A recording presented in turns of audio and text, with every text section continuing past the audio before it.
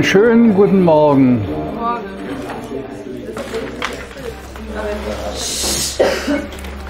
So, wir wollen jetzt nochmal unsere ja, lange Betrachtung über den ganzen geschichtlichen Verlauf bis in die Gegenwart herein und äh, was jetzt als Zukunftsaspekt in der Landwirtschaft in Bezug auf die Gestaltung von Höfen an Gesichtspunkten äh, Bedeutung haben kann. Das habe ich ja gestern versucht, hier jetzt darzustellen. Da möchte ich noch etwas anschließen, äh, um das zu vervollständigen. Wir haben ja gestern betrachtet nun, wie hier eine Gliederung des landwirtschaftlichen Hofes zustande kommt, die in ähnlicher Art sich eigentlich schon seit dem frühen Mittelalter entwickelt hat. Da habe ich schon davon gesprochen, von ähm, Ackerbau, Viehhaltung und Gartenbau und Obstbau und so, und so weiter. Das gab eine bestimmte Gliederung, aber das war alles instinktiv veranlagt durch die Jahrhunderte, durch die, ich möchte mal sagen, ein ganzes Jahrtausend hindurch. Und das ist jetzt zu Ende gekommen. Heute stehen wir auf diesem Trümmerhaufen der Vergangenheit und jetzt müssen wir sehen, wie können wir ein neues Bild der Landwirtschaft entwickeln. Das war ja die Grundfrage. Und äh, da äh, hat man eine ganz, die Möglichkeit einer ganz neuen Orientierung im landwirtschaftlichen Kurs, wo darauf hingewiesen wird, dass eben der Mensch zur Grundlage gemacht wird, als methodisches Prinzip. Also dass man sich selber als Mensch, als im, äh, im Geiste urständend, aber einen leiblichen, einen Leib bewohnend, einen Organismus, dass wenn man das tiefer und tiefer und tiefer versteht, und dazu bedarf es eben einer Geisteswissenschaft und nicht nur einer Naturwissenschaft, die müssen sich natürlich ergänzen, beide Seiten, aber letzten Endes muss man den Blick erweitern auf das geistig-seelische und nicht nur auf das leiblich-physische. Und diese beiden Betrachtungsweisen zusammengefasst ergeben dann eben ein Bild einer, äh, nicht nur des Menschen, sondern vom Menschen ausgehend, der Landwirtschaft, aus dem heraus man einen landwirtschaftlichen Hof quasi wie neu komponieren kann.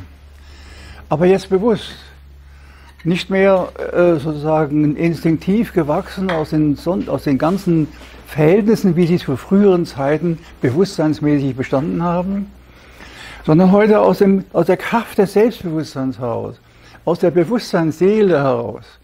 Und die Bewusstseinsseele bedeutet nichts anderes, als dass man sich selber als geistiges Wesen erkennen lernt und daraus handelt und daraus ein Bild der Landwirtschaft neu gestaltet. Nun, äh, ich habe das dann so ein bisschen an die Tafel gemalt hier, wie jetzt hier die Menschengemeinschaft auf einem Hof. Denn man ist ja nie ein Einzelner, man arbeitet ja immer mit anderen zusammen. Diese Menschengemeinschaft dem Hof sich selber ins Bild setzen muss in Bezug auf das, worauf es in Zukunft ankommt. Und das ist eine ungeheure geistige Leistung, die eigentlich da äh, zu vollbringen ist. Das Bild ist nicht einfach da. Das Motiv ist noch lange nicht das Bild, was man hat, biologisch dynamisch zu wirtschaften. Da hat man so ungefähr, so irgendwo geht es da in diese Richtung. Aber dass man ein klares Bild hat, dass einem die moralischen Intuitionen gibt, aus denen heraus man dann tätig wird, und zwar aus einem Freiheitsimpuls tätig wird, das ist, das muss man sich erst erobern. Ne? Und das, man kann nie sagen, dass man da zu Ende kommt. Also ich meine, ich bin jetzt auf dem absteigenden Ast, ihr seid auf dem aufsteigenden Ast. Und wenn ich so auf mein eigenes Leben zurückblicke, würde ich sagen, so viel von einer Dimension, die schier unendlich ist, habe ich gerade vielleicht mal bewusstseinsmäßig erfasst. Aber es ist ein weiter, nicht endender Weg, den man jetzt beschreiten kann. Und das macht die Sache so interessant. Das macht ein, das äh, äh, ist so eine ständige Schubkraft von hinten, die man sich selber gibt den Blick immer in die Zukunft zu lenken. Nie stehen zu bleiben, nicht einen Augenblick. Nicht zu glauben, man hätte was erreicht. Nie. Man hat nie was erreicht. Man hat natürlich was erreicht. Schrittweise. Man muss immer eine Stufe auf die andere folgen lassen. Aber das Ziel, wirklich da anzukommen, wohin man eigentlich geistig will, das ist ein weiter, weiter, nicht endender Weg. Ja, ähm, jetzt hatte ich, haben hier gesagt, aus diesem Bild kann man jetzt versuchen, einen landwirtschaftlichen Betrieb so zu entwickeln, dass äh, die ganze Vielseitigkeit, die gefordert ist, dass das Ganze ein lebensfähiges, aus sich heraus sich entwickelndes Ganzes wird.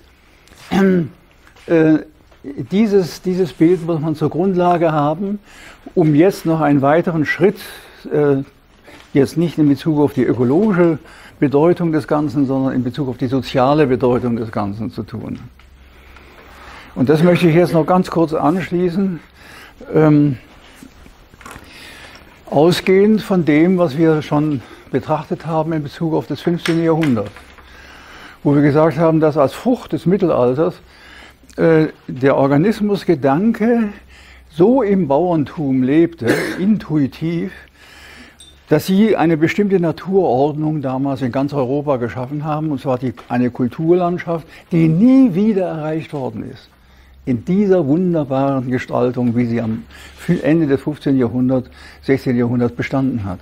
Das war der Höhepunkt der Kulturlandschaftsentwicklung generell die Umwandlung eines Naturbiotops in ein Kulturbiotop.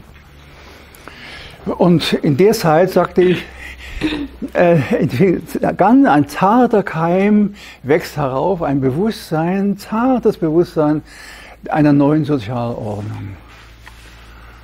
Dieses instinktive Geistes, Kultur, geistige Kulturleben, die Menschen konnten noch nie lesen und schreiben, in aller Regel jedenfalls nicht.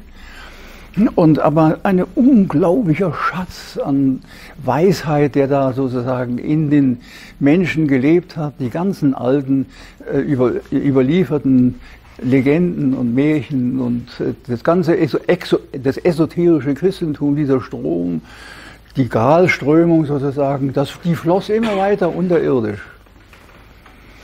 Und daraus hat sich ein neues Sozialbewusstsein entwickelt, nämlich eben dieses äh, instinktive Geistesleben, ein instinktives Rechtsleben von Mund zu Ohr, das Ting-Recht kann man das nennen, und dann schließlich eben äh, diese instinktiven Assoziationen. Und wenn man jetzt versucht, einen biologischen Betrieb heute in vollem Ernst, mit allen Konsequenzen zu entwickeln, in der ganzen Vielfalt dieser Gliederung, und voll, so weit wie nur irgend möglich, durchdrungen von dem Bewusstsein dieser Menschengemeinschaft, bis in den letzten Winkel durchdrungen. Da ist sehr viel gesagt, wenn das überhaupt erreicht wird. Also, dass man, dass das ganze Bewusstsein der Gemeinschaft sozusagen bis in den letzten Winkel, bis in den letzten Quadratmeter hinein alles im Blick hat. Die Äcker, die Felder, das Vieh im Stall, was es auch immer sein mag. Ständig muss das irgendwo im Bewusstsein leben. Das ist nicht da draußen, das muss gleich in mir sein. Das erfüllt das Bild, was ich von der Sache habe. Wenn man in dieser Weise versucht, wirklich ganz ernsthaft die Sache zu entwickeln, dann merkt man plötzlich, dass man aus einer gewissen landwirtschaftlichen Isolation heraustritt und ein Umkreis von Menschen fangen an, Interesse zu gewinnen an dem, was, was ihr da eigentlich macht. Entweder ihr seid verrückt, sowas zu machen, so war es in den 60er, 50er, 60er Jahren, ihr seid verrückt, oder aber irgendwie wacht man, mein Gott, Kinder, ihr sagt doch mal, was sind eigentlich eure, eure Motive, was sind eigentlich eure, eure Anliegen in der Sache, dass ihr so einen mühsamen Weg da beschreitet, wo alles andere doch viel einfacher ist. Zumal, wenn man aus der Stadt kommt und, und, und äh, eigentlich nur äh, also in der Stadt sehr viel größere Möglichkeiten hätte, sich äh, für die, für die Entfaltung seines Lebens und so weiter, was man so eben hat. Und jetzt geht ihr in die Landwirtschaft, um Gottes Willen, das Älteste vom Alten. Also da kann man doch kein Primelport mehr gewinnen. Und äh, ja, aber wenn man jetzt diesen Gesichtspunkt wirklich hat, da, dann möchte ich mal sagen, dann ist man in der Lage, jedenfalls geistig zunächst Berge zu versetzen nicht physisch, aber man ist sozusagen so motiviert, so ausgerichtet auf einen Zukunftsimpuls, dass einen nichts mehr erschüttern kann. Und je mehr das der Fall ist, desto mehr merkt man dann plötzlich Stufe für Stufe, damals ging es noch sehr langsam, heute geht es viel schneller, dass plötzlich ein Menschenumkreis dafür Interesse gewinnt. Und dass dann so die, der eine oder andere kommt und sagen, ja, äh, ähm, wir wollen eure Milch haben. Aus den und den Gründen. So fing es bei uns zum Beispiel an. Wir hatten keinen Laden, kein gar nichts, überhaupt nichts. Hatten nur das Interesse, biologische Milch hier zu wirtschaften, sonst nichts. Hatten auch, die Ausbildung fing auch hier überhaupt erst an, die Lehrlingsausbildung.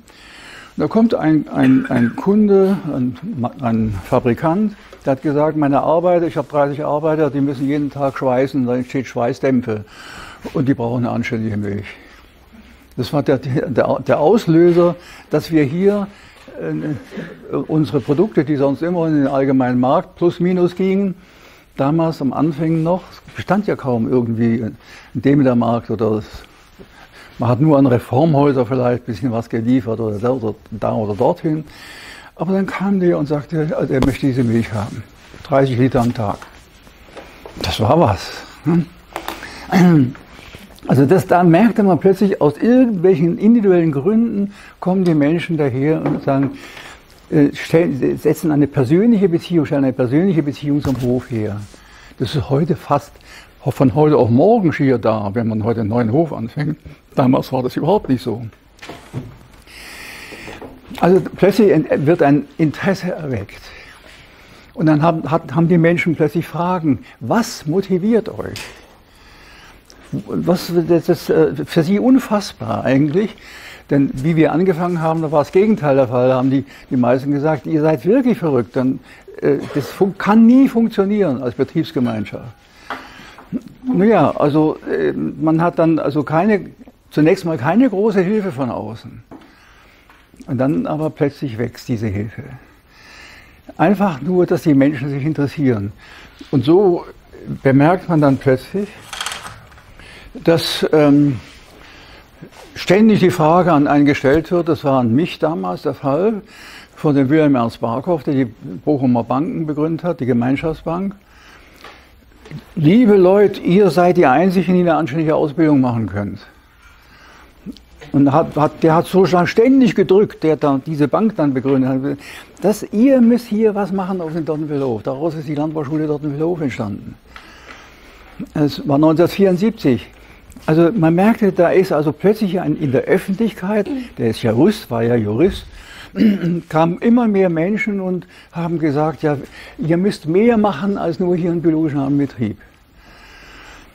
Und daraus erwuchs dann eben allmählich so etwas wie ein Ausstrahlen des Hofes in das öffentliche Bewusstsein nach außen, wo man sagen kann, dass eine Brückenschlag jetzt stattgefunden hat von dem Hof in äh, den sozialen Umkreis und daraus entstand ein neues Kulturleben.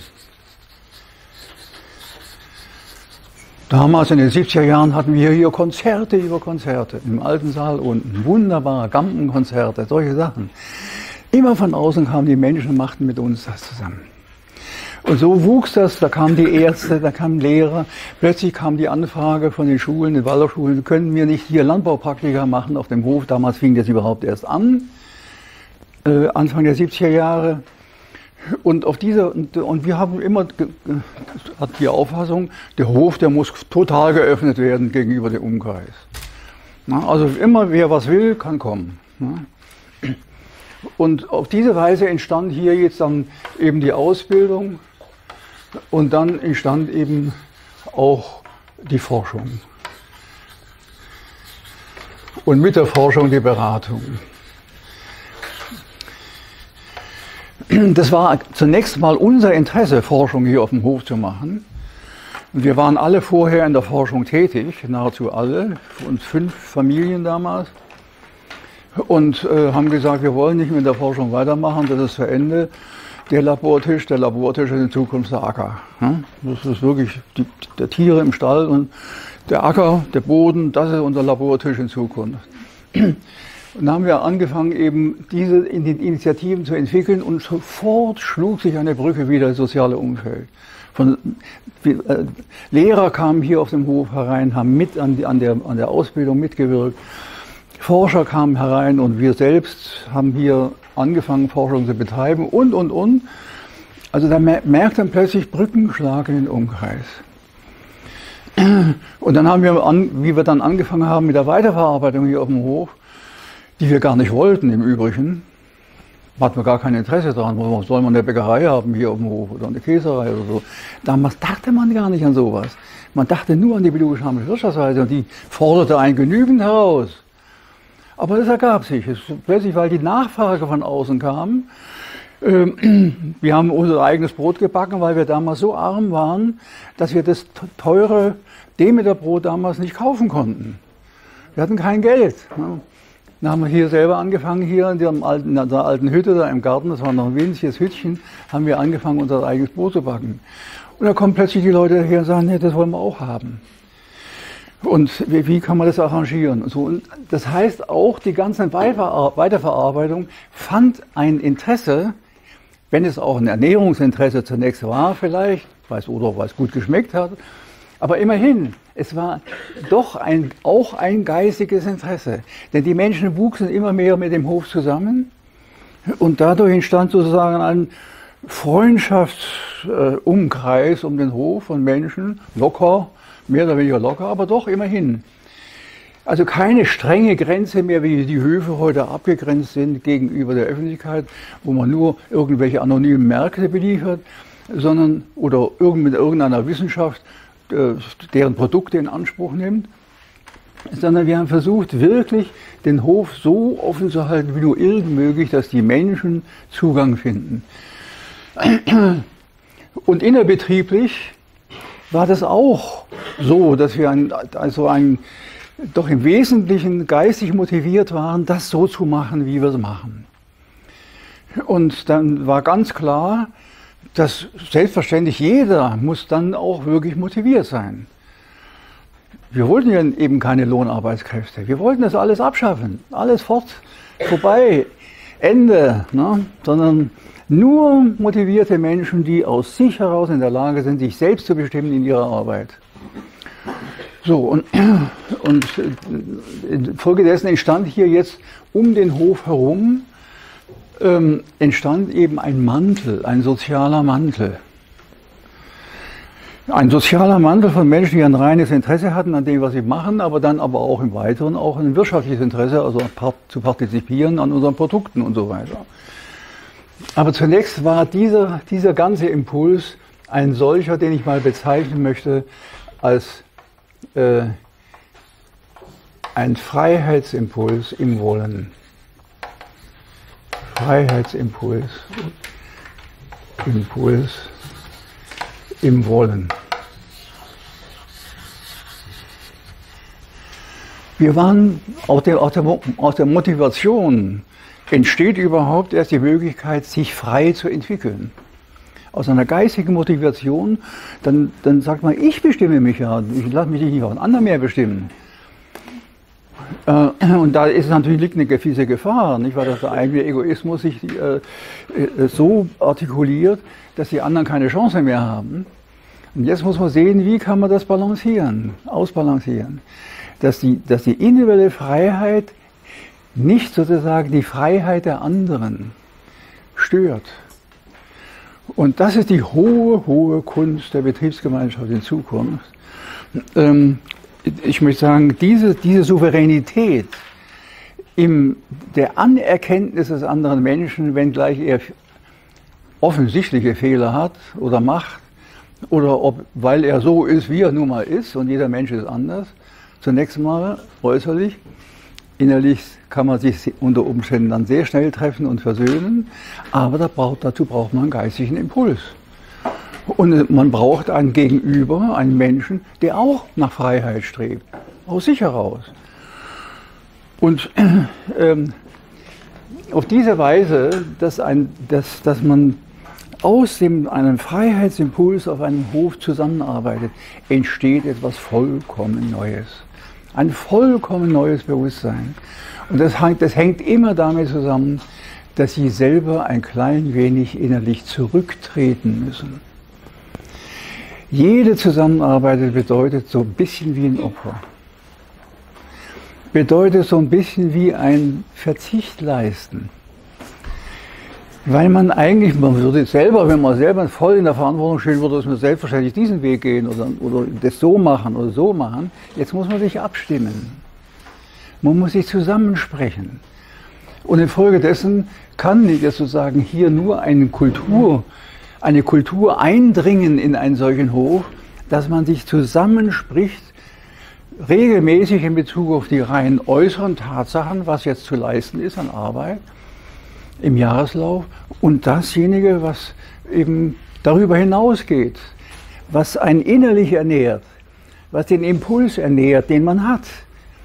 Und jeder Mensch hat eben, wie gesagt, seinen Impuls. Jetzt muss man die irgendwie äh, so gemeinsam den Blick auf diese verschiedenen Impulse lenken, dass plötzlich ein Gemeinschaftsimpuls entsteht. Dass man sich im höheren Sinne dann als Gemeinschaft wirklich versteht, ist ein weiter, weiter Weg. Also da darf man keine Illusionen hingeben. Zunächst mal ist das ein Club von Individualisten. Hm? Aber dass das sozusagen aus dem blanken Individualismus und dem Goodwill sozusagen des Einzelnen mehr wird, dass es zu sich zusammenschließt, zu einem wirklichen, äh, ein, ein, eine, eine Gemeinschaft, die fähig ist, aus der äh, Entschlüsse zu fassen, die nicht nur individuelle sind, sondern die wirklich die Gemeinschaft in vollem Einklang, in Einmütigkeit fällen kann. So, das ist also ein, ein Erziehungsweg, ein Erziehungsweg äh, der, des, des, des individuellen Menschen zur wirklichen Gemeinschaftsbildung. Und ich, ich sage Ihnen nur, irgendwo wird, werden Ihnen diese Probleme, wenn Sie in die Landwirtschaft gehen, werden die irgendwo werden die konfrontiert werden mit diesem Problem. Und da, sage ich nur, seien Sie, nie, Sie werden Enttäuschungen über Enttäuschungen erleben. Aber wenn, sobald Sie den geistigen Impuls innerlich haben, kann Ihnen das nicht mehr wehtun. Kann, kann, das, ein, kann das einen nicht mehr in Frage stellen. Sondern man, da muss man durch. Ne, das ist dieses Parsival-Motiv. Perceval heißt ja auf Altfranzösisch durch das Tal. Man muss immer durch ein Tal durchstoßen, um sozusagen dann doch mit dem anderen zusammen äh, die nächste Stufe zu erklimmen. Also wir sehen, man kann das jetzt äh, immer weiter ausführen, was hier sich alles abspielen kann, dass da plötzlich Tagungen auf dem Hof stattfinden, dass dann Konzerte stattfinden, Theaterstücke aufgeführt werden und so weiter, dass ein richtiges Kulturleben plötzlich sich in der Landwirtschaft selber ansiedelt. Da merkt man, dass plötzlich die Umwelt antwortet auf diesen Impuls. Das ist ein erstaunliches Phänomen. Und darauf kann man sozusagen ein ganzes Vertrauen gründen, dass wenn man selber keinen Hof hat, dass man wirklich irgendwann mal an den Hof kommt. Weil immer mehr, möchte ich mal, das soziale Umfeld irgendwo nach Wegen sucht, wie man wieder einen neuen Bezug zur Natur gewinnt. Die Menschen haben heute den Bezug zur Natur verloren. Die haben einen intensiveren Bezug zur digitalen Welt, die eine rein virtuelle ist, als zu dem, was um sie herum wächst und gedeiht. Das ist geradezu grotesk. Man, man, wir sehen es ja hier auf dem Spielplatz, da kommen die Kunden hier auf dem Hof, dann lassen sie die Kinder wie die Hunde los, ne, da, da, da, und dann haben sie ein Handy in der Hand und, wischen da ständig über die, über die Screen. Und da sind die Bäume rum und da, da singen die Vögel, das, das wird gar nicht wahrgenommen.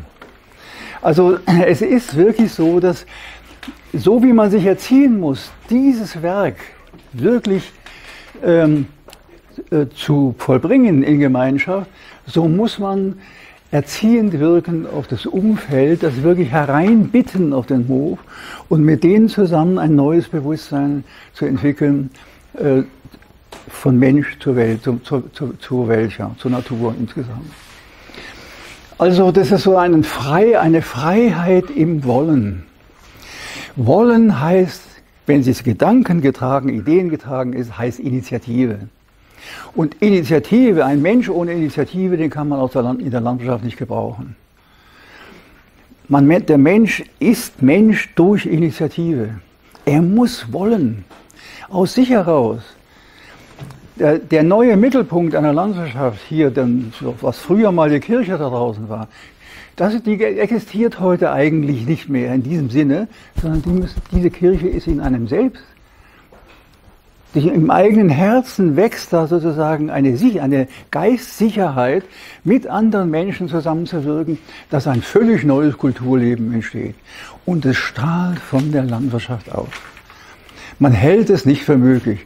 Die Landwirtschaft war bisher immer diejenige, die sozusagen die Städte gefüttert hat. Das Kulturleben in den Städten durch Abwanderung. Und jetzt ist der Nullpunkt erreicht. Ein Prozent der Bevölkerung noch sind Ingenieure in der Landwirtschaft ne, praktisch Ingenieure geworden, keine Bauern mehr. Es war eigentlich niemand mehr in der Landwirtschaft wirklich tätig, als, als außer eben, eben Ingenieure oder weiß ich was. Äh, jedenfalls am We zum wenigsten Bauern im eigentlichen Sinne. Das heißt, wir haben einen Nullpunkt erreicht. Und jetzt sind wir von dem Nullpunkt, bis wir jetzt eine neue Kultur in die Zukunft gestalten. Und da merkt man, dass die Landwirtschaft so gegriffen plötzlich die, die Menschen enorm interessiert, neu anregt, neue Zusammenarbeitsformen inauguriert. Und darauf kann man vertrauen. Und nichts ist schöner im Leben, als wenn es Momente gibt, wo man vertrauen kann. Wirklich Vertrauen haben kann. Und nicht nur, nicht nur, dass man sich toleriert. Toleranz reicht überhaupt nicht. Sondern wirkliches Vertrauen von Mensch zu Mensch das ist stabil und das trägt. Aber das muss man sich erobern. Es geht nicht von selbst. So, das ist die eine Seite, die ich erwähnen möchte. Da wirkt, strahlt etwas aus vom Hof, was ein neues Kulturbewusstsein entwickelt auf der Basis der Landwirtschaft. Das ist völlig neu. Das ist erst seit den 70er Jahren ist das überhaupt erst in Erscheinung getreten. Alle Versuche, auch im biologisch-dynamischen Landbau vor dem Zweiten Weltkrieg und direkt nach dem Zweiten Weltkrieg, sind alle gescheitert. Aber plötzlich war die Zeit reif. Und jetzt wird sie immer reifer. Dass die Landwirtschaft wiederum zum, im Dienste des Gemeinwohls steht. Nicht mehr eine, eine, eine, eine Unternehmung ist zum Zwecke des Geldverdienens nach Albrecht her, oder wie es sich dann auch tatsächlich entwickelt hat, eine Unternehmung wie jede andere zum Zwecke des Geldverdienens. Das ist der Tod einer Kultur, wenn man so denkt. Sondern ein völlig neuer Aufbruch einer, einer, eines Kulturbewusstseins aus der Landwirtschaft heraus, wenn man ganz bewusst einen Hof in diesem Sinne gestalten möchte. Und das hat eine weitere Konsequenz. Und das nämlich das habe ich, mach mal, mach mal den Strich mal so und dann hier unten so. Das hat eine zweite Konferenz, Kon äh, Konsequenz. Wenn Sie nämlich jetzt irgendwo anfangen, einen Hof zu bewirtschaften und Sie wollen das in der Betriebsgemeinschaft machen oder irgendwie, eben wie es sich gerade ergibt. Es ist, jeder Ansatz heute ist vollkommen individuell zu gestalten.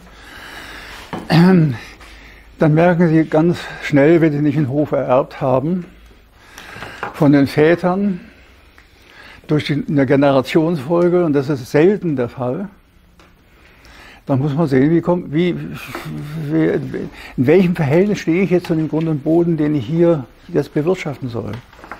Ist es eine Pachtung? Naja gut, dann steckt aber ein Eigentümer dahinter und der stellt seine Forderung, muss einen Pachtvertrag machen und dann müssen, den müssen sie irgendwie erfüllen wenn man eine Domäne pachtet, dann muss man dem, hat man den Staat zum Partner. Das ist überhaupt nicht zu empfehlen. Da, da, da, da kommt man in Teufels, Teufelsküche wirklich. Mit allen Re Regeln und Regulierungen. Und weiß, der Staat muss streng seine eigenen Gesetze einhalten und dann bleibt die Zeit stehen. Ne? Und ähm, sie stehen plötzlich vor der Frage, ja, was, wem, wem gehört eigentlich der Grund und Boden da, den ich da bewirtschaften soll? Ich kann ihn nicht kaufen, ich habe kein Geld.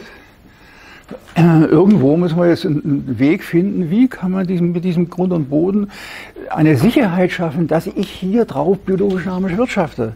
Und zwar nicht nur fünf Jahre, sondern auch nicht zehn Jahre, die sind schnell rum, sondern eben auf alle, in alle Zukunft von weitere Generationen, die im gleichen Sinne die Sache weiterführen. Da steht plötzlich vor der Frage der Eigentumsfrage. Das ist eine ganz gravierende Frage, wo, wenn man mit der zu tun hat, im, im alten Sinne, ich sage im alten Sinne, dann werden sämtliche Dämonen geweckt, die man nicht denken kann. Sondern jetzt eine Lösung zu finden, dass äh, wirklich der Grund und Boden aus den alten Erbformen dieser oder sonstigen Rechtsformen der Vergangenheit herausgelöst wird und zu, zur freien Nutzung zur Verfügung gestellt wird, ohne dass man ihn kauft, ohne Verbindlichkeit sondern, und auch nicht an eine klassische Pacht, sondern so zur Verfügung stellt, dass du darauf jetzt biodynamisch wirtschaften darfst, kannst. Und dass dieses Prinzip weitergereicht wird von Generation zu Generation in die Zukunft. Da muss man den, den, den Hof aus alten Rechtsbindungen befreien. Und das ist eine Herkulesarbeit. Man kann Glück haben natürlich, dass irgendwo jemand ganz großzügig so einen Hof zur Verfügung stellt. Äh, und noch mehr Glück haben, wenn das bedingungslos geschieht. Aber dann ist, steht man nämlich selber vor der Frage, wenn ich etwa etwas wirklich geschenkt bekomme oder sagen wir zur Verfügung gestellt bekomme, dann trage ich auch Verantwortung. Ich muss das Geschenk annehmen können. Das gehört zum Schwierigsten im sozialen Leben heute, dass wenn jemand bereit ist, Geld zur Verfügung zu stellen für die Entwicklung eines Hofes, dass ich innerlich mich fragen muss, bin ich würdig, das entgegenzunehmen? Habe ich mich genügend gewappnet? Äh, bin ich stark genug, diesen Hof auch also dem, den Erwartungen des Schenkenden entsprechen zu können durch das, was ich tue? Oder nehme ich das Geschenk, stecke in die Tasche und mache irgendwas, irgendwas. Es, es, es kann, Sie, Sie werden sehen, das Schenkungsgeld spricht, äh, äh, spielt in der in Zukunft in der Landschaft eine ganz große Rolle. Wenn man neu anfangen will, braucht man Schenkungsgeld. Wo soll es denn herkommen? Und um irgendjemand muss ja die, sowohl das Land, irgendwo müssen sie das Land herkriegen, das müssen dann irgendwie neutralisieren, eigentumsmäßig. Sie machen gemeinnützigen Träger oder irgendwas. Äh, aber da sind sie auch schon wieder eingeschränkt rechtlich, weil Gemeinnützigkeit bezieht sich nur auf ganz bestimmte Rechtstitel, Nutzungstitel. Also nur alles das, was der allgemeinen Wohlfahrt dient, das kann Gemeinnützigkeit dann beanspruchen. Und weil die Landwirtschaft heute erklärtermaßen immer noch ein Wirtschaftsunternehmen ist, dient sie nicht der Wohlfahrt, also ist sie nicht gemeinnützig sondern nur spezifische Tätigkeiten. Wenn man Sozialtherapie ansiedelt auf dem Hof oder pädagogische Initiativen oder sonst was, dann kann ein Teilbereich kann dann quasi gemeinnützig, äh, so wie die Landbauschule hier auf dem Dottwellhof, einen gemeinnützigen, einen gemeinnützigen Träger hat. Aber man stößt da ständig mit der Rechtsordnung irgendwo, äh, kollidiert man irgendwo. Also das ist immer so eine sehr, sehr äh, ambivalente Angelegenheit. Also wir haben heute in unserer ganzen recht, modernen Rechtsordnung noch keinen, noch nichts, was eigentlich dem entspräche, dass wir den Grund und Boden als völlig eigentumsunfähig betrachten, im klassischen Sinne, sondern vollkommen ein neutralisiertes Recht, ein bloßes Recht, nicht ein handelbares Recht. Nicht? Handelbar heißt, ich kann es kaufen oder verkaufen. Dass der Grund und Boden nicht mehr verkäuflich ist, grundsätzlich nicht mehr verkäuflich. Dass er ein reines Recht ist, wie in der modernen und heutigen Sozialordnung ist alles in einen Topf geschmissen. Gulasch. Ein sozialer Gulasch ist das. Wirklich, dass man sagen kann, dass die Rechte Geld kosten. Ist der Wahnsinn. Also auch die sogenannten ähm, äh, Emissionsrechte, die heute im großen Stil gehandelt werden. CO2 wird verkauft. Ne? Also wenn man weniger produziert, dann verkauft man das eigentliche äh, weniger, das Defizit an CO2 äh, kann man dann kompensieren von einer Firma, die dann viel mehr CO2 in die Luft bläst. Und so kann man dann Rechte kaufen, Emissionsrechte kaufen und verkaufen. Kap kapitalisierte Rechte. Unser ganzes Geldkapital ist heute käuflich. Wir kaufen Geld. Ne? Wir verzinsen Geld, wir machen lauter solchen Unsinn, dass wir Rechte, die eigentlich ein, ein, ein, einen Eigenstatus haben, so wie der Geist hier, dieses Geistige hier einen Eigenstatus haben die Rechte einen Eigenstatus, hat mit Ware überhaupt nichts zu tun. Sie glauben gar nicht, wie verkommen eigentlich unsere ganze Sozialordnung ist. Die ist total marode, durch und durch, weil wir ständig Rechte zur Ware machen. Und jetzt muss man anfangen, im kleinen Maßstab, wo man jetzt anfängt, im Biojournal zu wirtschaften, versuchen jetzt irgendwo mit einem Umkreis von Menschen zu suchen, können wir nicht irgendwo diesen Hof jetzt, äh, ich nehme an, dass der Simpfendorfer gestern von seinem Hof erzählt hat, dass sie ihn jetzt in den Genossenschaftseigentum äh, überführen wollen. Hat er davon erzählt? Ja. Also dann überall merkt man jetzt in Ansätze auf den Höfen, wie können wir ähm, sozusagen ein Recht schaffen, was nicht mehr Geld kostet. Was nur noch Recht ist, Nutzungsrecht. Und ich habe das Nutzungsrecht, die volle Verfügungsgewalt über den Hof, wenn, ich, äh, wenn mir dieses Nutzungsrecht zugesprochen wird, wie wenn es ein Eigentum im klassischen Sinne wäre, aber das, das hört auf in dem Augenblick, wo ich den Hof aus den Händen gebe.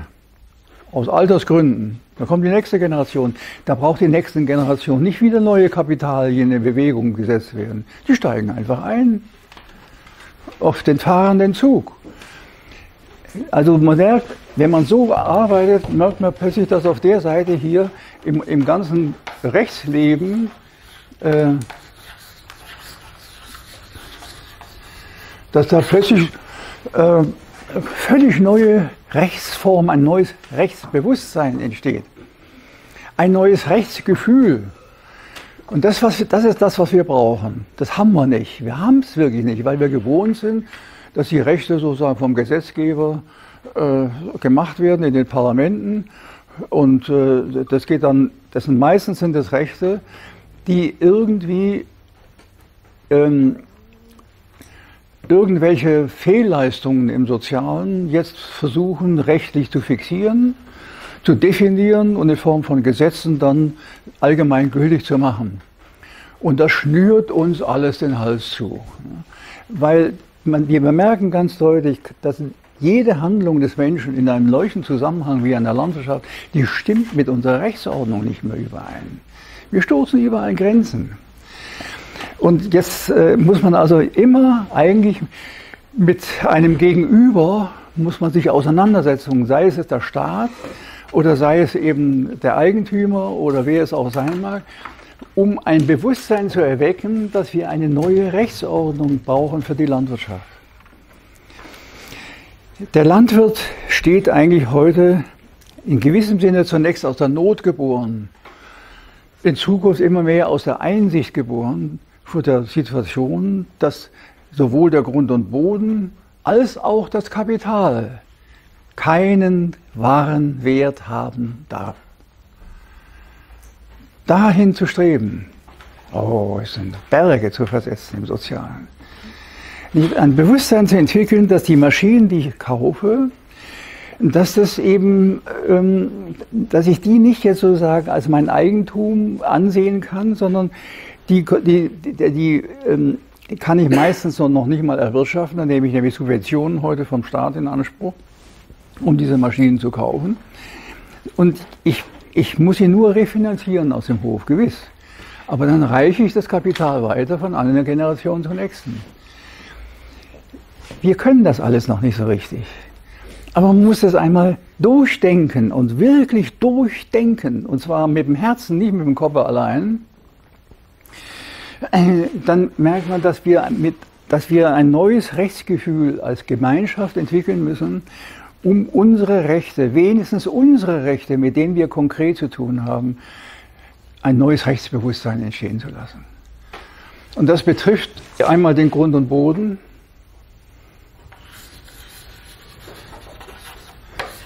Grund und Boden. Und das betrifft das Kapital. Es ist noch sehr, sehr schwierig, mit dem Kapital neu umzugehen im Übrigen. Und das betrifft dann im Weiteren Wohnrechte, das betrifft äh, äh, Altersversorgung und so weiter und so weiter. Ähm, da schließt sich, man merkt dann, die ganze Rechtsordnung, die wir heute haben, stimmt eigentlich für uns nicht mehr. Wir müssen irgendwie sehen, wie wir mit dem Gegebenen, wir können ja nicht gegen das Recht operieren. Wir, können ja, wir dürfen eigentlich nie revolutionär sein, sondern nur insoweit revolutionär, als wir unseren eigenen Gesichtspunkt in dem Lebensbereich, in dem wir selber tätig sind, zu verwirklichen suchen. Ja? Könntest du nochmal auf das Kapital eingehen? Das habe ich noch nicht verstanden. Ja, also das Kapital da waren schon am ersten Tag schon da hier. Da haben wir über das Kapital gesprochen. Also das Kapital ist ja geronnener menschlicher Geist. Also wenn ich eine gute Idee habe, habe ich damals, damals ja gesagt, dann kann ich das umsetzen in irgendeine, äh, in irgendein Produkt. Sagen wir mal, ich kann daraus eine Maschine konstruieren oder ich kann irgendwas anderes produzieren. Das ist alles menschlicher Geist. Was wir heute, was heute Kapital heißt, kaputt heißt auf Lateinisch Kopf. Also das ist, äh, äh das ist dasjenige, was der Kopf, der menschliche Geist oder die menschliche Intellektualität erfindet. Das ist Kapital. Das ist geronnen in Form von Maschinen, in Form von Produktionsmitteln und so weiter.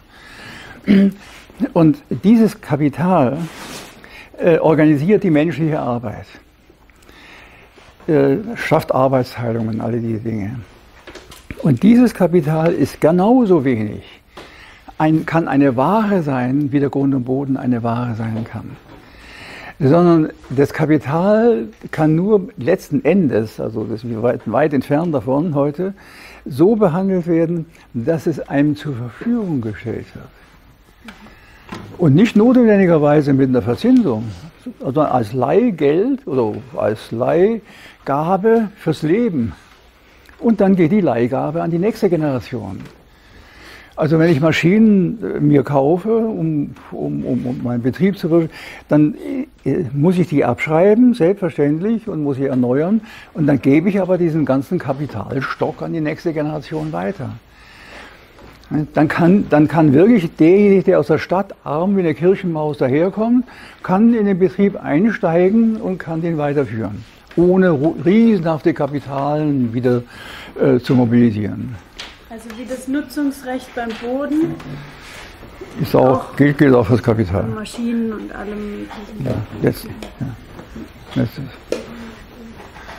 ähm, und wer ist dann beispielsweise der eigentliche Eigentümer, der verleiht und weitergibt? Und was passiert in der Theorie mit Schadensfällen oder so? Oder man geht bankrott, man kriegt es nicht hin, man macht äh, äh, fährt gegen die Wand wie funktioniert das? Haben Sie eine Lösung? nein, nein, also es ist klar, äh, wir haben da einige Arbeit vor uns. Mhm. Also, wir, also man merkt einfach hier, und zwar von Jahr zu Jahr mehr, äh, welche Fähigkeiten wir überhaupt erst entwickeln müssen, um sachgerecht da urteilsfähig zu werden.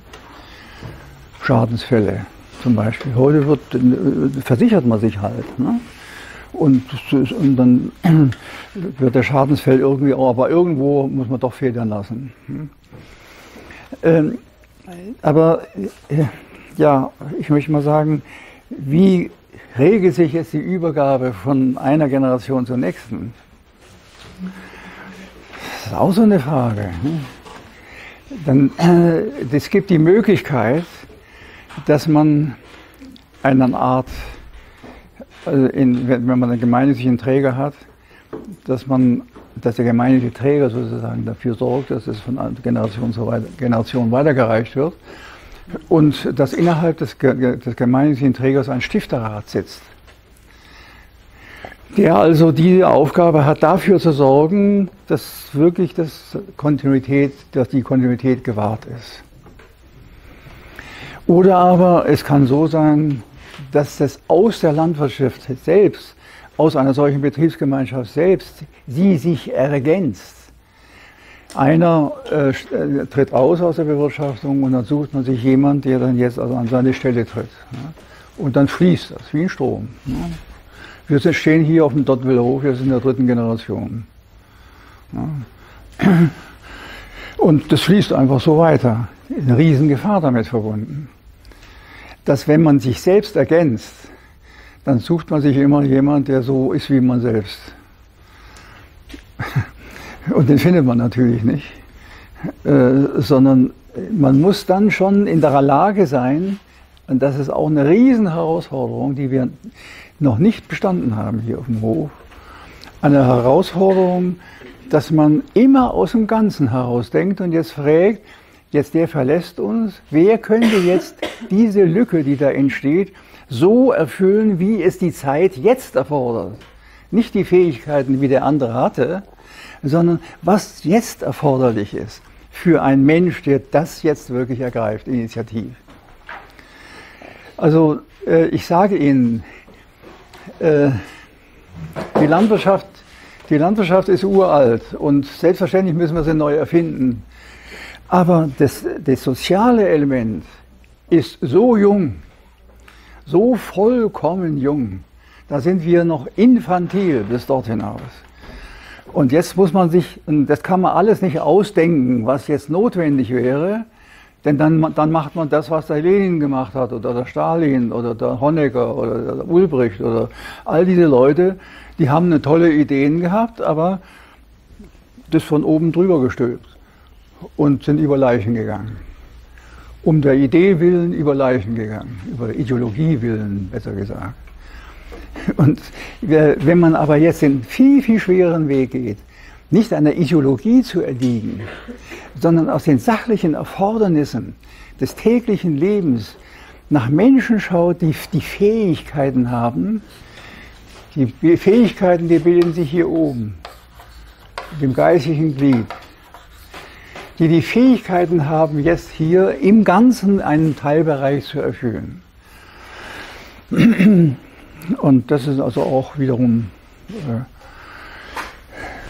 ja, ein Riesenschritt, ein Bewusstseinsschritt, da richtig im Sozialen zu handeln, ohne sich alle möglichen Probleme einzuhandeln, die einen fast paralysieren können, ne?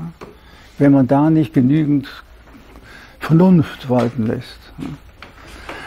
Also ähm, was hier erforderlich ist, ist, ist jetzt ein Fühlen in Gleichheit.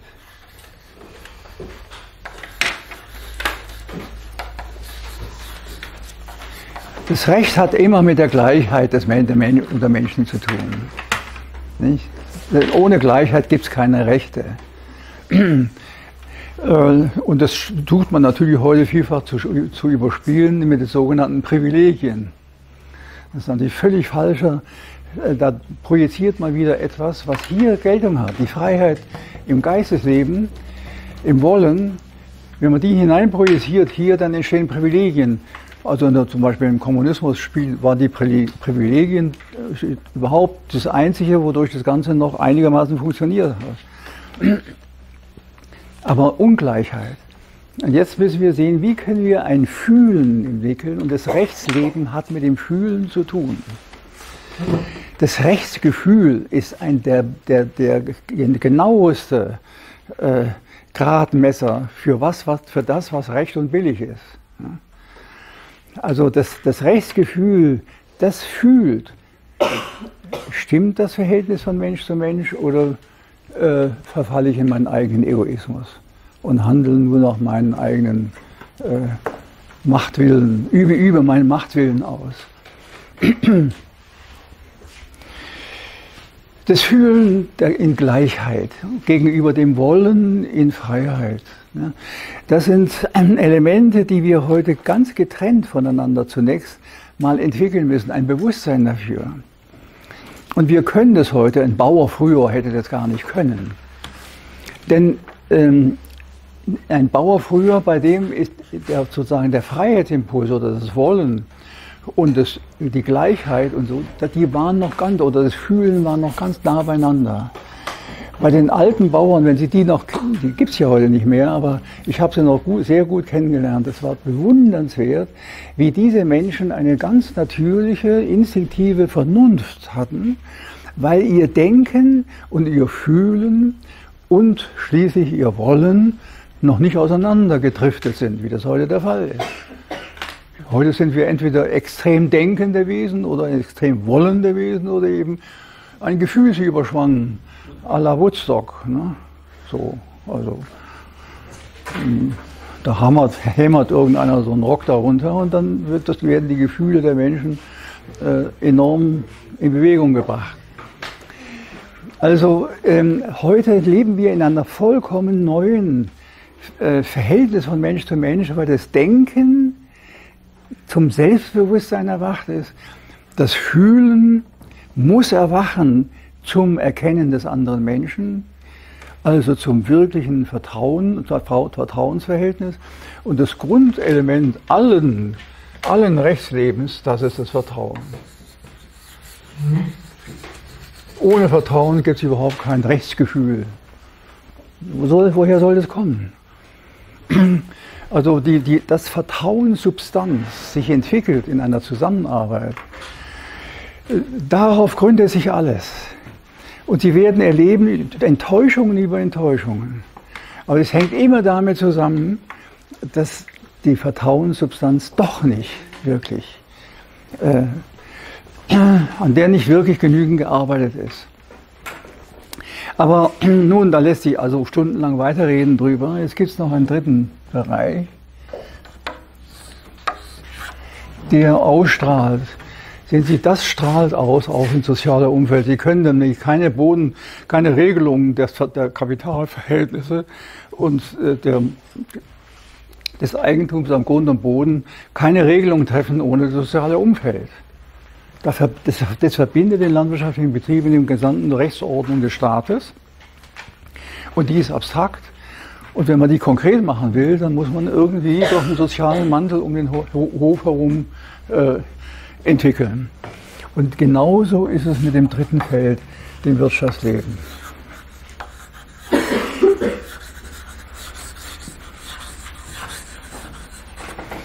Da geht es ja darum, dass wir hier auf dem Hof Waren erzeugen. Das ist die Urproduktion. Die Landwirtschaft schafft die Urproduktion. Die, die industrielle Produktion ist abgeleitet. Ich muss zunächst mal mich ernähren können. Ich muss, äh, da müssen Produkte erzeugt werden, dass ich als Mensch meine Existenz habe. Ich habe dreimal am Tag in der Regel Bedürfnis nach Nahrung. Jeder Mensch. Das heißt, er ist sozusagen schlechterdings äh, zugleich eben als Konsument wirklich geboren. Und jetzt ist da die Landwirtschaft und betreibt Urproduktion. Sie betreibt genau das, was eben für das der Mensch täglich dreimal Bedürfnis hat.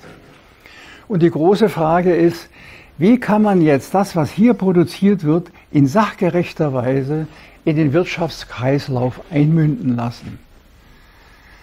Wie kann man das so verteilen an die Menschen, dass sie da jeden Tag ihr Bedürfnis entwickeln wollen? Da sagte ich Ihnen am ersten Tag, das geht nur durch eine Regionalwirtschaft, nicht global. Die Industrie arbeitet weltwirtschaftlich, die Landwirtschaft arbeitet regionalwirtschaftlich. Das heißt, auf kürzesten Wege müsste eigentlich diese verderbliche Produktion, die hier erzeugt werden, auch hier verbraucht werden. Also Gemüse, Obst und so weiter. Heute werden da, weiß Gott, was für Kapitalinvestitionen geleistet, damit, damit man die Äpfel vom Herbst, die man gepflückt hat, noch im Frühjahr äh, frisch im Supermarkt haben kann. Was da alles für, um, für, für, für, Veranstaltungen getroffen werden müssen, um das zu ermöglichen, mit Kühlräumen und weiß nicht was alles. Also die Landwirtschaft ist ta tatsächlich, verbindet sich ganz konkret mit dem sozialen Umfeld durch die Produkte, die sie erzeugt. Und das große Problem ist, wie verteilt sich jetzt diese Ware? Wie kommt der, der, der Konsument zu dieser Ware? Und wie kann man so zusammenarbeiten, dass das funktioniert? Heute ist es mehr oder weniger anonym. die großen Handelsketten kaufen irgendwo das Zeug auf und, und äh, dann erscheint es dann in den Supermärkten. Ich habe das erlebt in Kalifornien. Äh, da haben die Betriebe, ähm, äh, da, haben, hat, haben die Betriebe ihre Monokultur geerntet, wobei der, der Bauer saß unter einem Sonnenschirm mit zwei Computern, zwei äh, Bildschirmen. Auf dem einen Bildschirm lief sein Vollernter, den er dann gesteuert hat also digital gesteuert hat und auf dem anderen Bildschirm lief ein Wildwestfilm.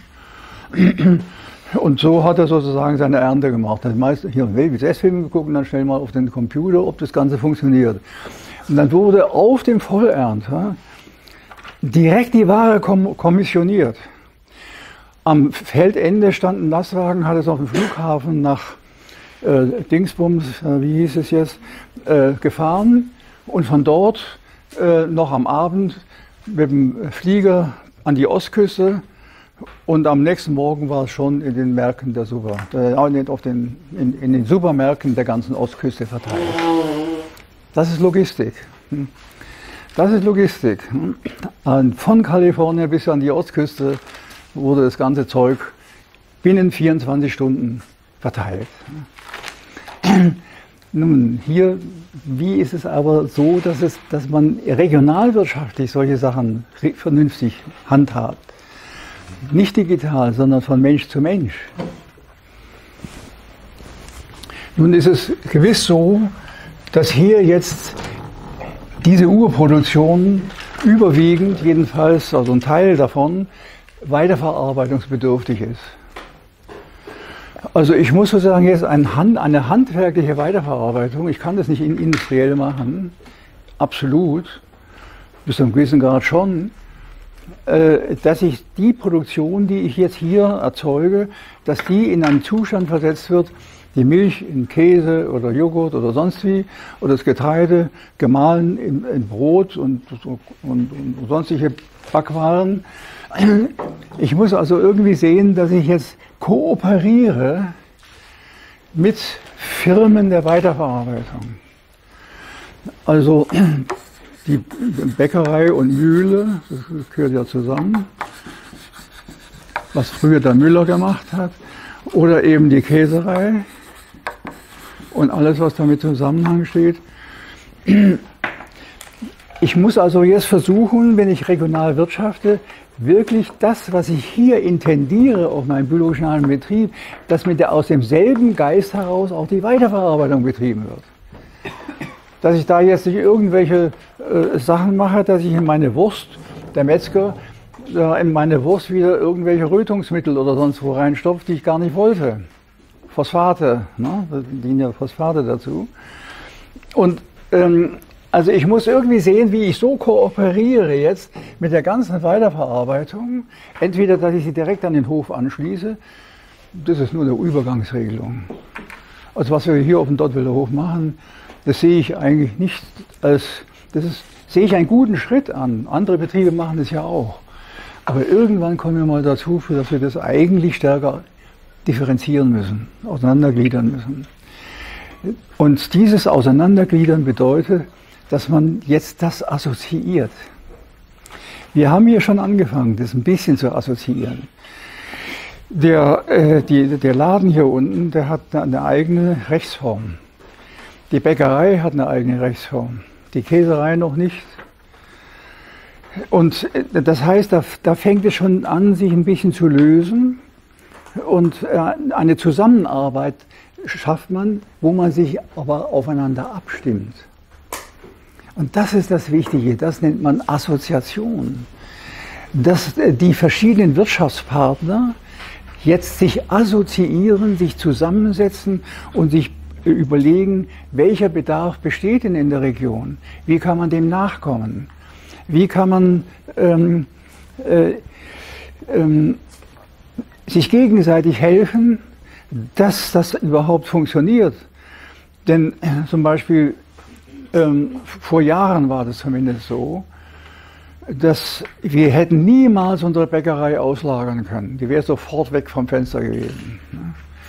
Und ich muss sozusagen, wenn ich sobald ich in der freien Wirtschaft draußen, sogenannten freien Wirtschaft stehe, Freiheit hat im Wirtschaftsleben überhaupt nichts zu suchen. Es hat nur hier was zu suchen. Hier herrscht Gleichheit. Im Wirtschaftsleben heißt ein assoziativer Geist, das solidarische Zusammenwirken. Und da muss ich irgendwelche Einrichtungen schaffen, dass ich sie mich so bespreche mit dem Bäcker, so bespreche mit dem Metzger, so bespreche mit dem Müller, so mit allen anderen, dass dadurch jeder im Bewusstsein des anderen handelt. Nicht gegen ihn, nicht in Konkurrenz. Die Konkurrenz ist der Teufel des Wirtschaftslebens. Der Teufel des Wirtschaftslebens. Die Konkurrenz macht alles kaputt. Hm? Das hat Rockefeller auch gesagt. Bitte? Das hat Rockefeller auch gesagt. Rockefeller? Ja. Hat es aber betrieben. Wettbewerb ist Sünde. ja, Rockefeller hat es aber ganz schön verstanden, dass dann doch dann äh, seinen, seinen goldenen Hut dabei zu, zu füllen. Ne? Aber das natürlich, der, der, die ganze Reihe von dem Rockefeller, nicht nur der, sondern der Henry Ford, der hat die tollsten Sachen gesagt. Aber er hat einen Weltkonzern aufgebaut. Ne? Also der hat, der hat auch gesagt, von dem stammt ja auch der Spruch, die Landwirtschaft ist ein Transportgewerbe wie jedes andere zum Zwecke des Geldverdienens. Transportgewerbe. Deswegen hat er den Schlepperschließe erfunden. Ne? Also einen großen Ski jedenfalls gebaut. Also die Frage der Konkurrenz, das ist also äh, davon absehen zu lernen, sondern eher die, das Umgekehrte zu fragen, wie kann ich dir helfen? Die Konkurrenz rechnet immer damit, dass, dass ich den anderen irgendwo drücke, dass er sozusagen äh, zurückstecken muss und ich dabei gewinne. Irgendwie ist es ein ständiger Kriegszustand eigentlich zwischen Angebot und Nachfrage.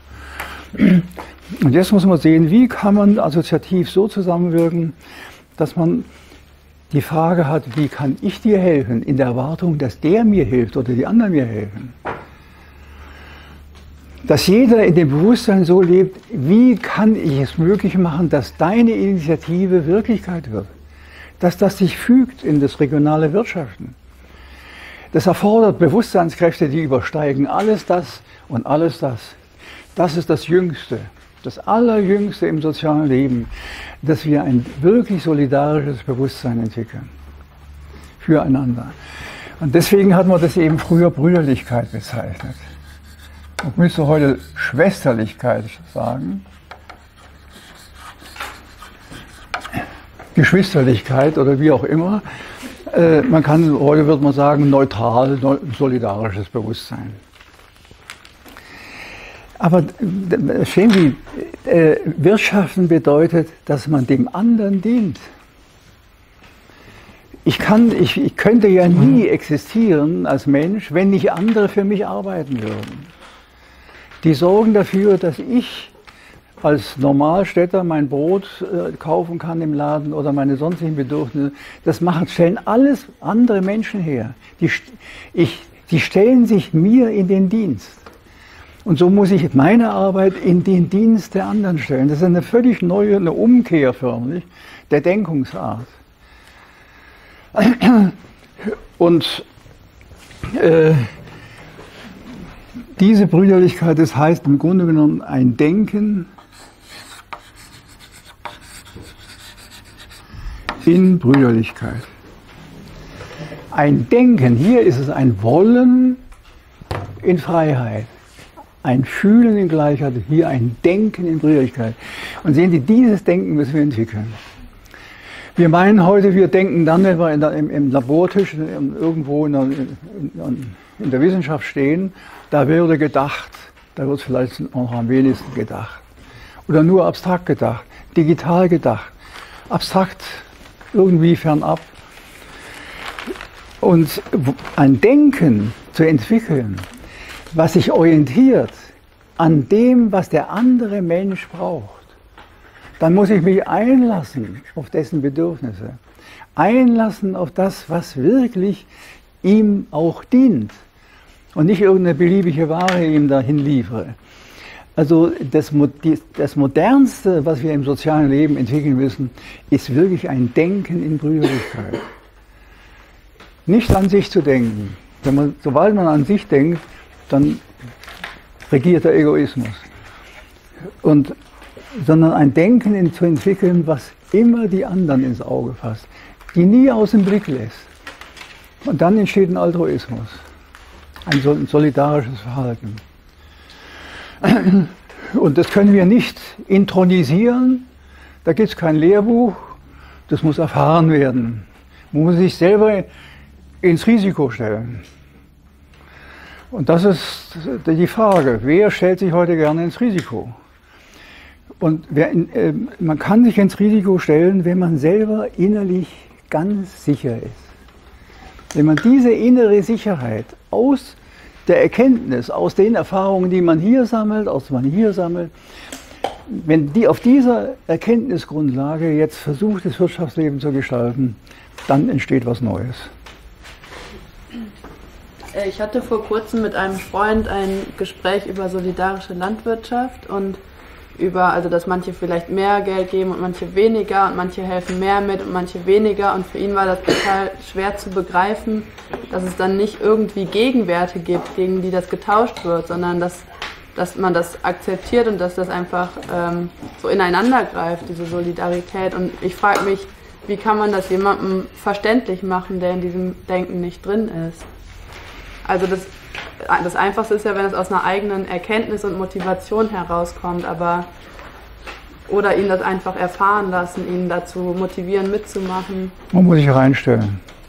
So sind auch die ganzen äh, CSAs, Community Supported Agriculture, also diese äh, gemeinschaftsgestützte Landwirtschaft, äh, ist ja so auf diesem Wege entstanden. Man hat einfach Menschen gefragt, äh, könnt ihr sowas einsehen, dass man in dieser Weise zusammenarbeitet.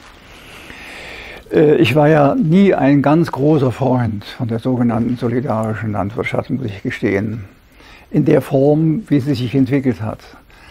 Ähm, aber das kann ich auch schon wieder relativieren. Also, ähm, die solidarische Landwirtschaft, diese Form, diese, von der Sie sprechen, die ist 1970 entstanden. Und zwar aus folgender Überlegung, dass ähm, es einen Hinweis Rudolf Steiners gibt in Arbeitervorträgen vor Mercedes-Benz. Ich weiß nicht, ob es Mercedes-Benz oder Robert Bosch GmbH war in Stuttgart und da hat er immer so Abende gemacht, mit den, mit den Arbeitern zusammengearbeitet, äh, im Hinblick auf die Dreigliederung des sozialen Organismus. Und da hat er die Bemerkung gemacht, dass jeder Mensch, wenn er geboren wird auf Erden, ein Anrecht hat auf ein Stück Grund und Boden, dessen Größe herauskommt, wenn man ein bestimmtes Territorium teilt durch die Zahl der Menschen, die dort leben. Das haben wir hier im Nordwellerhof gemacht. Äh, und äh, da haben, kamen wir auf 600. Ne? Das ist ungefähr, wenn man die, damals die Westdeutschland geteilt hat durch die Zahl der Einwohner, dann kam man ungefähr auf 2400 Quadratmeter Landes, von dem sich jeder ernährt. Und da wir nun 600 Morgen hatten, also quasi 600 Anteile, haben wir gesagt, naja gut, dann suchen wir mal 600 Menschen. Wir fanden nur 150. Und äh, bis heute auch, so ungefähr, haben unsere Landwirtschaftsgemeinschaft hat vielleicht 150 Mitglieder. Diese äh, Udo Stein hat dazu eine interessante Bemerkung gemacht. Das gilt ideal, real. Ideal, real. Man kann das als Idee mal so fassen und muss jetzt sehen, wie kann man das auch in die Wirklichkeit umsetzen. Und wenn Sie sozusagen äh, das, was man dann aus dieser Grundidee in Amerika, Nordamerika gemacht hat, äh, das war ja wie ein Lauffeuer durch, Amerika, durch Nordamerika gegangen. Da haben sich überall CSAs begründet. Community Supported Agriculture heißt das. Und das fing damit an, dass man gesagt hat, hör mal, ich, äh, wir wollen was Anständiges zu essen haben. Wir kriegen ja nur da unseren Hamburger oder irgend sowas. Und äh, wir wollen mal was Anständiges zu essen haben. Da haben sie zusammengetan, 100, 100 Familien, haben gesagt, ja, jetzt muss, suchen wir mal jemanden, der für uns das Zeug anbaut. Und dann suchen wir irgendwo ein Stück Land, wo der das dann macht und wir finanzieren das einfach mal vor. So sind die ursprünglichen CSAs entstanden. also gerade in Amerika, die ging von Deutschland aus, von Schepershof im Ruhrgebiet und später in Fullenhagen in Norddeutschland, aber wurden dann transferiert nach Amerika und da hat es also unglaublich, wie ein Buschfeuer ist das da durch die Lande gegangen. Existiert bis heute.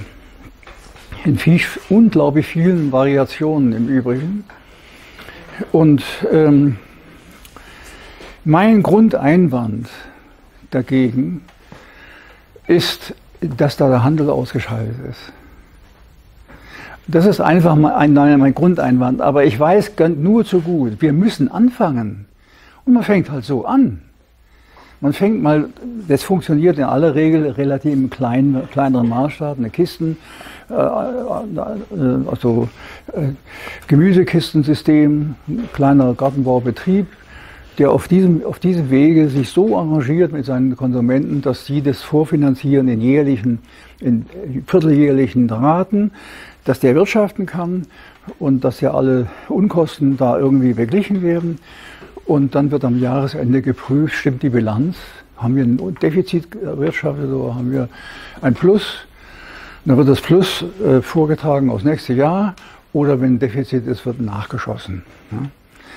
Und das ist eine wunderbare Sache, weil es erzieht, sie sorgt für ein solidarisches Bewusstsein. Das ist keine Frage.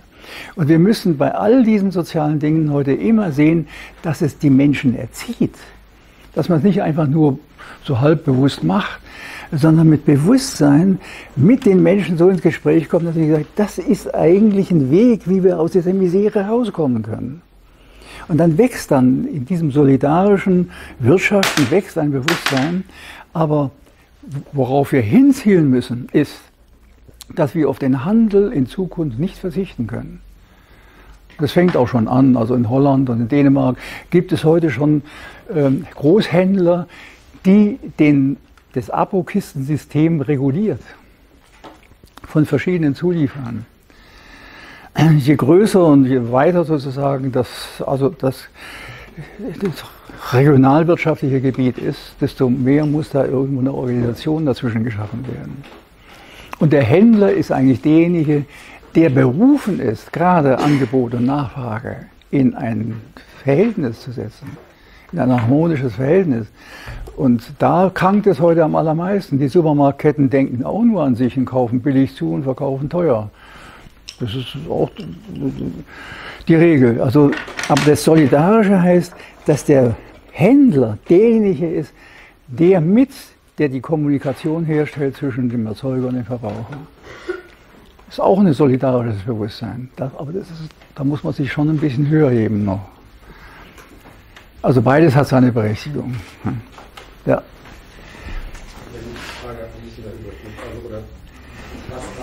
Problem, dass es keinen Handel gibt. Also der, die Größe des Betriebes, also je größer Dann, das, ja, ja.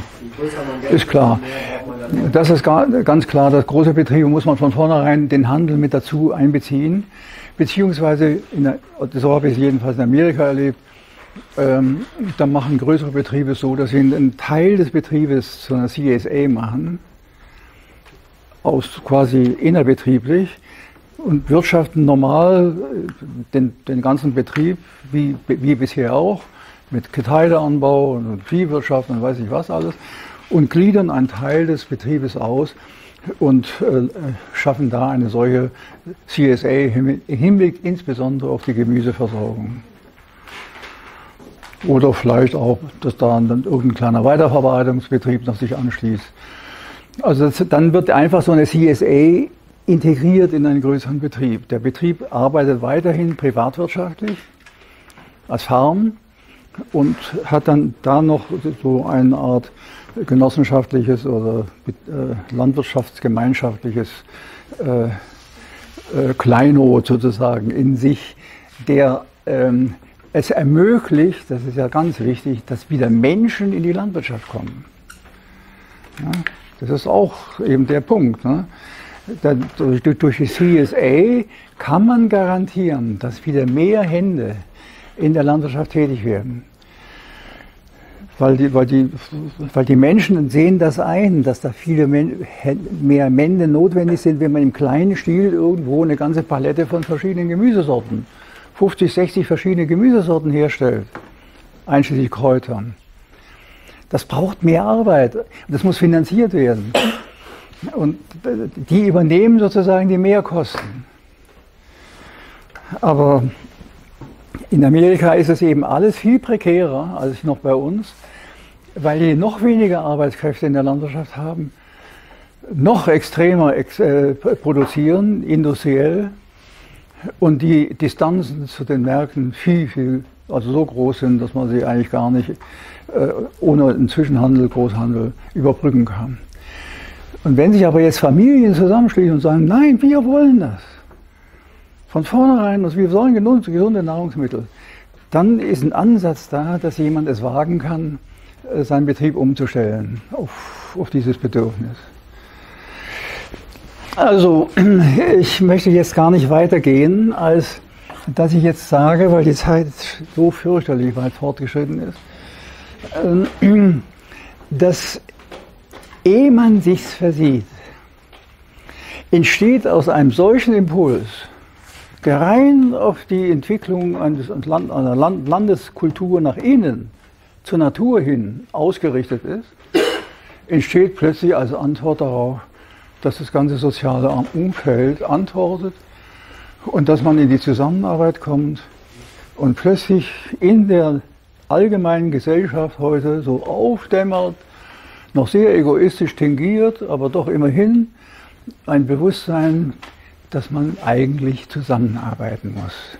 Und was das dann auch bedeutet. Dass dadurch ein, irgendwie ein, ein, ein Brüderlichkeitsgefühl, ein Gleichheitsgefühl und ein Freiheitsgefühl in der Initiative, dass das eigentlich eine neue Sozialstruktur in Zukunft entwickelt. Darauf kann man hoffen. Und da hat die Landwirtschaft, damit möchte ich diesen Sachen mal beschließen, da hat die Landwirtschaft eine ungeheure Aufgabe. Sie hat sie verloren. Sie hat heute keine Aufgabe mehr in dem Sinne. Sie ist ein Unternehmen wie jedes andere. So. Aber jetzt, wenn die Menschen merken, dass ihr eigenes Innere gleichsam die Kirche der Zukunft ist, dass man aus Ideen heraus in Freiheit und auf dem Rechtsleben in Gleichheit und im Wirtschaftsleben in Brüderlichkeit so zusammenarbeiten kann, äh, dann merkt man plötzlich, dass die biodynamische Landwirtschaft oder überhaupt eine so jetzt versuchte Landwirtschaft, wie ich es geschildert habe, eine unglaubliche Aufgabe hat in die Zukunft. Es ist ein Erziehungsmittel für die Gesellschaft. Und ja, also das hätte ich, sowas hätte man noch nicht sagen können vor 50 Jahren. Das kann man heute sagen. Heute kann man wirklich sagen, so ist es. Das zeichnet sich am Horizont überall ab. Und wenn ich 50 Jahre in die Zukunft sehe, äh, dann muss ich sagen, da wird das also quasi so augenscheinlich, dass die Politiker endlich mal aufwachen, dafür die Rahmenrichtlinien zu machen. Ja, die Richtlinien, ja? Ähm, wie soll ich sagen? Also, also diese letzten Worte, die Sie gesagt haben, darauf, genau, daran habe ich die ganze Zeit gedacht, ähm, weil es immer so darum ging, es strahlt auf die Ebene aus und nach außen aus und aus und aus.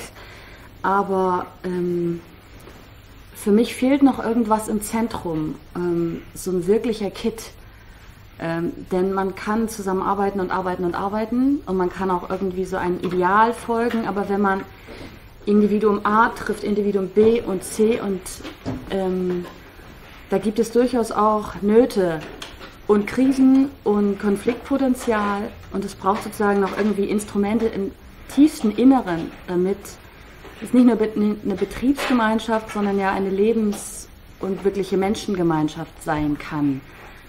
Und ich glaube nicht, dass die sich erfüllt nur im Arbeiten. Ja, ähm, da haben Sie ganz recht. Also so, einfach, so geht es schon gar nicht. Ne?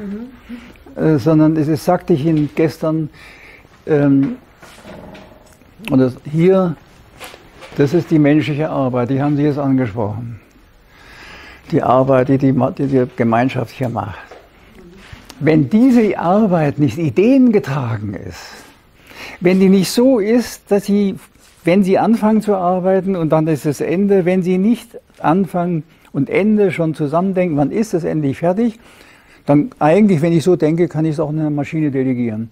Sondern dass ich mich selber arbeitend, mit Ideen getragen, in den Prozess selber stelle. Dass ich forschender Mensch, mein forschender Geist nie, dass, dass der mich nie verlässt. Dass ich in jeder Tätigkeit immer wachbewusst aus den Ideen, die mich tragen, die mich leiten, meine Herzensgedanken, dass die immer irgendwo bis in die Arbeit hinein gegenwärtig sind. Stehen Sie, dann kann ich nicht fehlgehen. Aber wo kommen diese Ideen her? Ich muss sozusagen jetzt als Gemeinschaft hier auf dem Hof wirklich so zusammenarbeiten, dass die Arbeit auch gefüttert wird mit Ideen. Dass ich das nicht einfach nur so, äh, ich möchte mal sagen, äh, mehr oder weniger bewusstlos ablaufen lasse. Und dazu brauche ich natürlich auch eine moralische Technik. Ich muss einfach sehen, dass die Gemeinschaft gemeinsam wirklich ein gemeinsames Studium macht, um diese Ideen sich immer mehr zu erwerben. Also das, das ist das Nonplusultra, muss man sagen, jeder Gemeinschaftsbildung, dass man sich in Bezug auf das, was man eigentlich als Ziel hat, gemeinsam bewusst wird. Und man ist sich dessen nicht bewusst. Deswegen gibt es Konflikte über Konflikte über Konflikte. Weil die Menschen eben irgendwo schicksalsmäßig so auseinander äh, sich entwickelt haben, dass wenn man jetzt auf ein, wie sich ein Ziel wieder vereinigen will, dass da so unterschiedliche Geister zusammenkommen, wo Kontinente zwischen den Einzelnen liegen, quasi. Und jetzt muss, muss, muss man sozusagen diese Motivrichtungen jedes Einzelnen bündeln auf ein Ziel hin. Und das ist, kann nur, also nach meiner Erfahrung, tut mir leid, ich kann nicht anders sagen, nur durch eine anthroposophische Arbeit, gemeinsame anthroposophische Arbeit möglich. Ich, also, dass ich Landwirt geworden bin, überhaupt biologisch hängt damit zusammen. Ich habe das hier erlebt, an ähm, jungen Jahren, dass die, die hier in der Verantwortung standen, jetzt äh, zu, zusammen studiert haben, die Geheimwissenschaft von Judor Steiner. Und da habe ich nur so, also, da haben mir die Ohren geschlagert, was die da, was die sich da alles über unterhalten. Und dann wurde mir plötzlich deutlich, äh, dass die darwinistische Entwicklungstheorie eine rein auf die sinnliche äußere Welt gerichtete ist. Und jetzt liest man da in der Geheimwissenschaft, wie sich der Mensch entwickelt hat im Zusammenhang mit den Naturreichen, die aus sich heraussetzen, durch Äonen, ne, wie sie dargestellt wird, dann plötzlich eine neue Entwicklungsidee mir bewusst geworden ist. Und die hat mich in die Landwirtschaft geführt.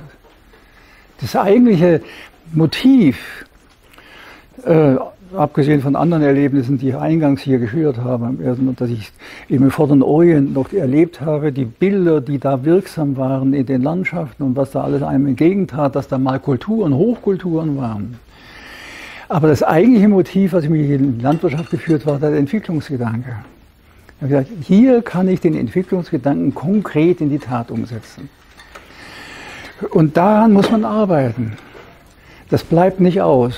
Also das ist das, ähm, äh, das unterliegt dem freien Wollen der Menschen. Ich kann niemand zu seinem Glück zwingen, sondern ich kann nur sagen, mein lieber Freund, wenn wir hier zusammenarbeiten wollen und haben das Ziel, hier den Hof gemeinsam zu einem biologischen Betrieb zu entwickeln, dann äh, müssen wir an solchen Fragen arbeiten. Willst du das, willst du das nicht?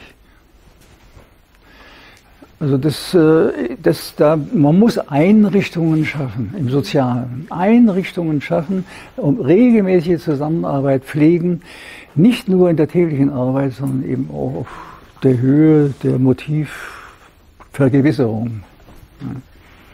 Ja. Oh Gott, ich habe gar nicht angefangen. Ich habe gar nicht angefangen. Machen wir, also heute Nachmittag haben wir nur eine Stunde. Ne? Ja, dann muss ich dann anfangen. Jetzt ist es zu spät. ja, aber Sie sehen, wenn man nur mal anfängt, das sind so Grundfragen, die uns heute bedrängen eigentlich. Und, und das ist eigentlich, eigentlich immer, immer die, die, die Frage, merkt ihr das nicht? nicht? Wir leben in einem solchen Wohlstand, der ist geradezu grausam. Ne? Der, der, der macht uns blind für die eigentlichen Fragen unserer ganzen gegenwärtigen Zeit und merken gar nicht, wie, wie, wie, wie schütter der Boden ist, auf dem wir eigentlich stehen, wirtschaftlich, in jeder Hinsicht eigentlich. Ähm, und jetzt ist die Frage, was, ist, was kann uns tragen, wenn der nächste Geldcrash kommt? Was ist so tragfähig in uns, dass wir trotz aller Irren, äh, also die Menschheit läuft ja sozusagen schnurstracks auf sowas zu, das ist gar nicht aufrecht zu halten, wenn man in der Illusion lebt, alles besteht aus Wachstum, Wachstum, Wachstum. Das ist endlich, wir leben in einer endlichen Welt. Und die muss wieder ihr Maß finden. Und das ist hier ein Maß. Und wenn man sich dieses Maßes gewiss ist, dann kann er nichts mehr umschmeißen.